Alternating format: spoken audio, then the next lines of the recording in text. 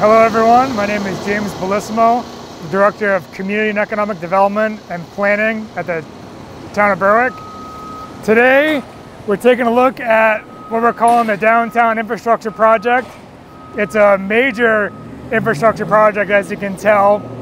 Uh, one of our main stormwater systems is being upsized to be able to be able to handle higher rain events. We're right in the middle of downtown Berwick. We're on the outside of Sullivan Square. Um, this drainage project is upsizing a pipe to 60 inches. So to pretty much almost walk through it with just crouching a little bit. The traffic pattern is very different and it will be for the next um, 10 business days or so. So this part of the project expected to last until about, about Halloween. October 31st. And then this part of the detour will be um, complete, actually. This part of the project will be complete. The detour will be shifted back to where it was before to wrap up the project.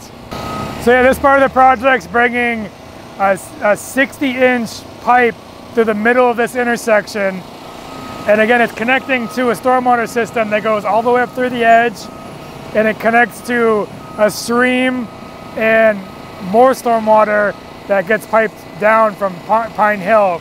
And it, and it flows all the way down through and it takes a turn up Sawmill Hill this way and then goes to the river about 30 or so feet down this section of Sawmill Hill.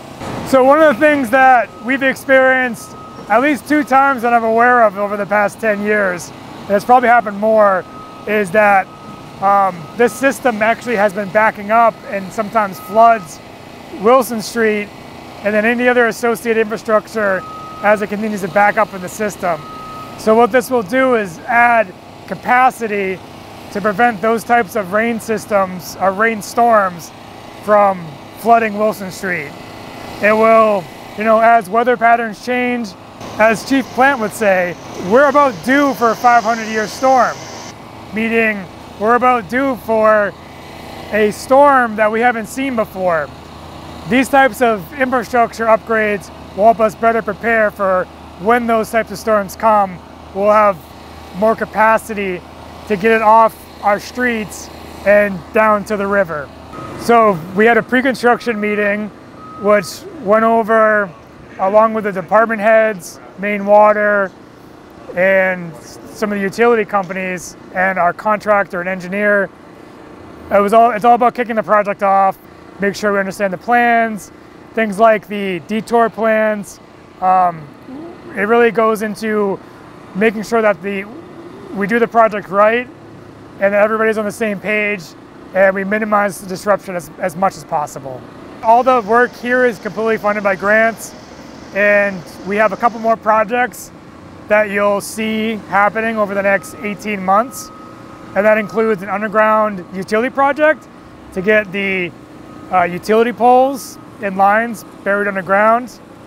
And also you'll see a bigger project towards the end of 2025 and beginning of 2026, which will realign the street, add brand new sidewalks, bike lanes.